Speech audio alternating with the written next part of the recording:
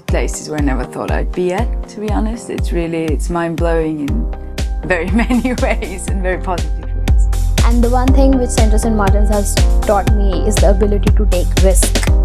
So now I'm like, I'm not scared of taking risk. I'm not scared of experimenting. I'm not scared of asking.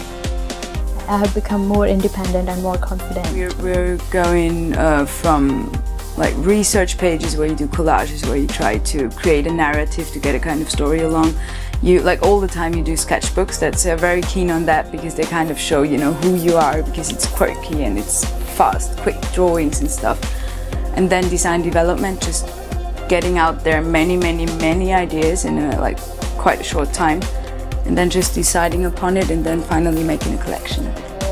And now I do understand what actually research is about.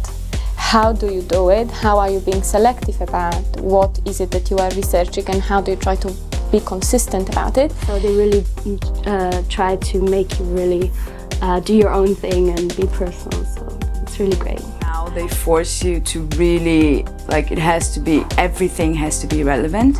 Everything has to come from somewhere and like the sentence you hear most here is like no fluff what's with the fluff? Like get rid of that you know? It just it has to mean something. I gained confidence back to draw again to sketch because they really liked my style and i just continued to draw every day and i think that's only that little thing is worth that i've had the course. It's really difficult the course you know? It's really hard work i have to admit.